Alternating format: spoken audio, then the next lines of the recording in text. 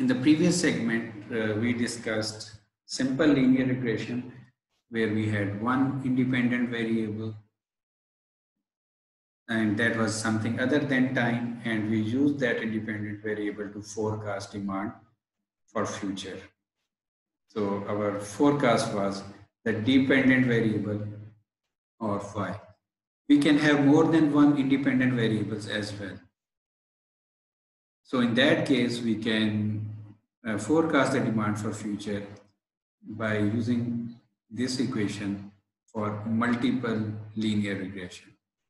So we can have two or more than two independent variables and of course corresponding values for, for slopes. So for example, we take the same example but add another independent variable. So the same example that we solved for simple linear regression.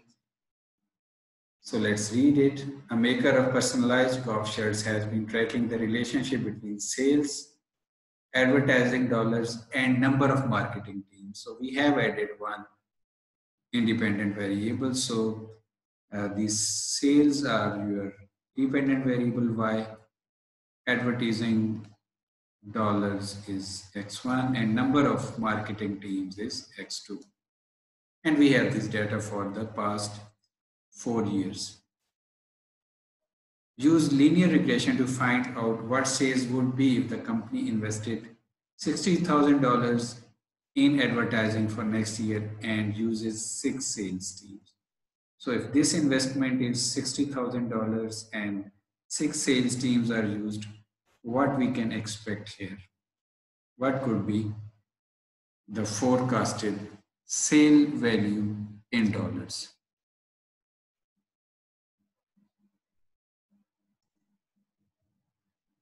So we have the same data here. So we have uh, the past sales data, we have past amount spent on advertising and number of marketing teams. So we are interested to forecast the demand for fifth year if we spend uh, $60,000 on advertising and we use uh, six marketing teams. So we can use same data analysis option in Excel, then regression, and we have to select the Y and X range. So our input Y range will be sales dollars column. So let's do it again. So that will be this column. Then we have to select X range so we have these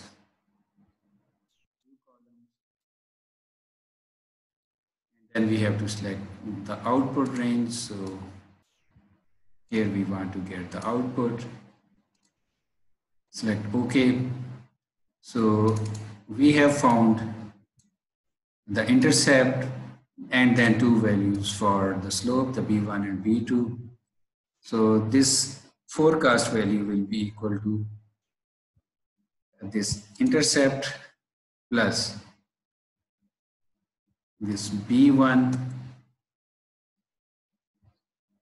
that is the slope for uh, advertising dollars and corresponding x1 value will be the 60 plus B2 into number of marketing teams that is 6.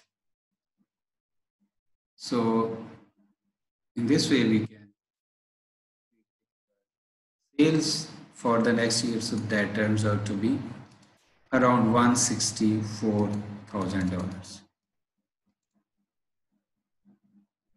Now, of course, we can play with these values. So for example, during decision making, we decide to say decrease uh, the investment on advert advertisements. So we make 8,000 and increase the number of teams to seven So there will be slight decrease uh, in the expected sales or if we decide to spend some more money uh, on advertisements and have fewer numbers of teams so we can have an increase in sales value so of course we can uh, check different what if scenarios to to make the final decisions regarding these two variables. And you can see here as well that uh, let's undo the changes. So you can see here that the value of R square is a high value that is 98.68%. So that is showing that the model is very strong and we, we can actually predict the uh, sales using these two variables. Thank you.